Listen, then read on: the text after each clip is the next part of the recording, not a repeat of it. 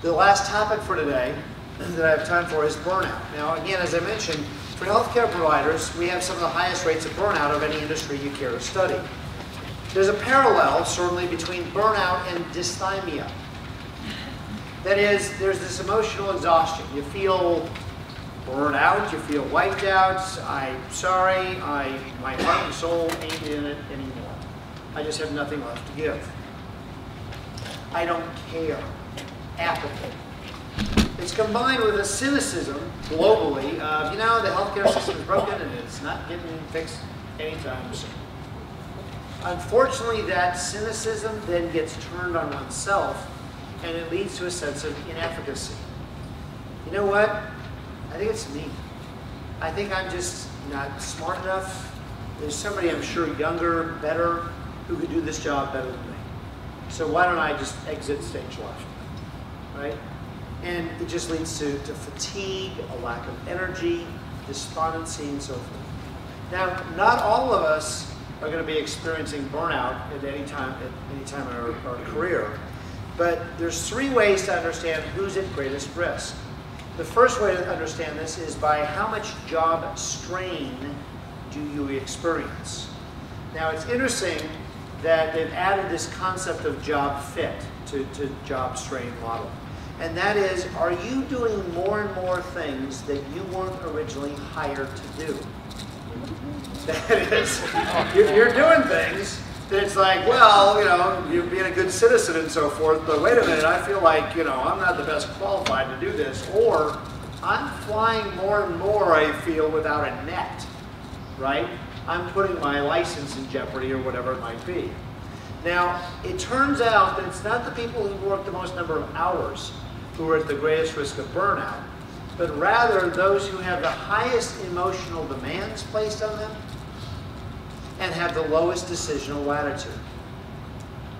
High emotional demands you're going to find in uh, neonatal units, pediatric oncology wards, people who deal a lot with folks who are in chronic pain, people who are chronically emotionally labile, and so forth. Low decisional latitude means that you don't have a lot of control over what you do, how you do it, or when you do it. It's all driven by protocols, regulations, and guidelines.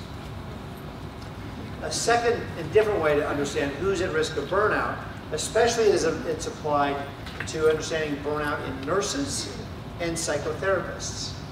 It's caregiver burden. But if over time, too many of our self-esteem needs are met exclusively by being the giver, the provider of care, combined with poor self-care, I mean, what do you expect? If you can't run the engine without putting fuel in the tank once in a while, you got to recharge the batteries. You're going to feel pretty burnt out or a traumatic response. You hear this beyond ICUs and emergency departments. You're looking at people who come back from a four-day weekend and they go, yeah, big deal. I couldn't stop thinking about that patient that went south on Thursday night before we left. I'm still, it's been two weeks later and I'm worried that my supervisor is still going to call me on the carpet for not having filled out form JY7293 exactly right. You know, it's hypervigilance and hyperstartle response. I mean, when, when burnout is there, we, we know when we see it, as exemplified by this one surgeon telling the other after the operating room, I don't feel quite as fulfilled when I've saved a lawyer.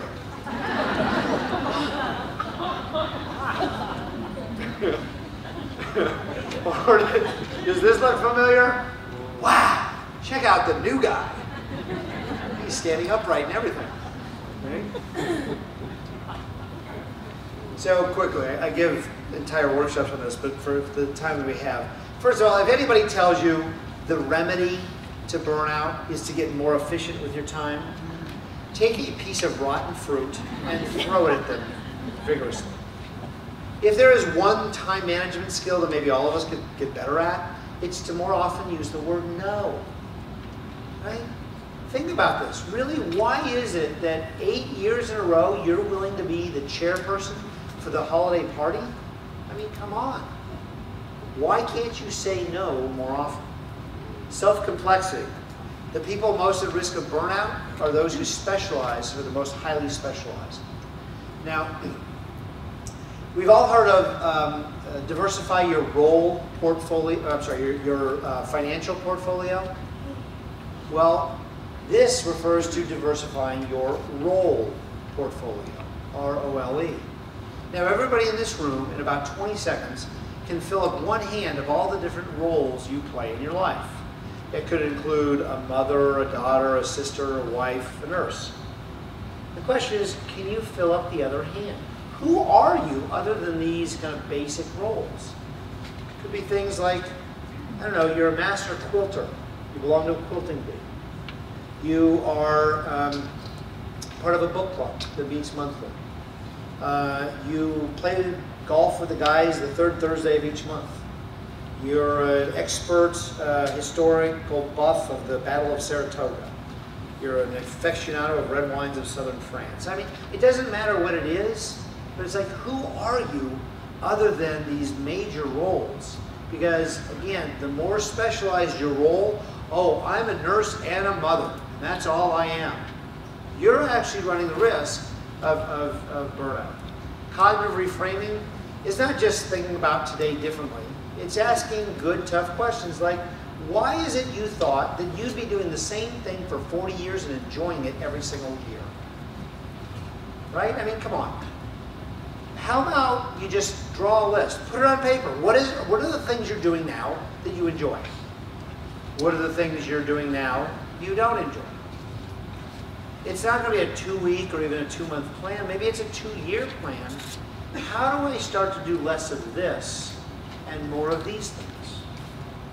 Do I just try and investigate? Is there an association or a society locally that I could join and kind of learn more about this?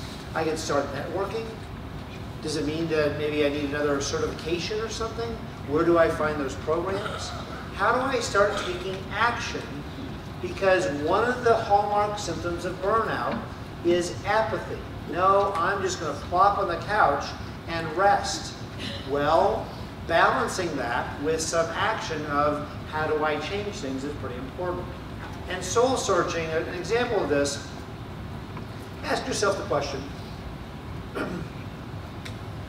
what words do I want people to use to describe me when I'm dead?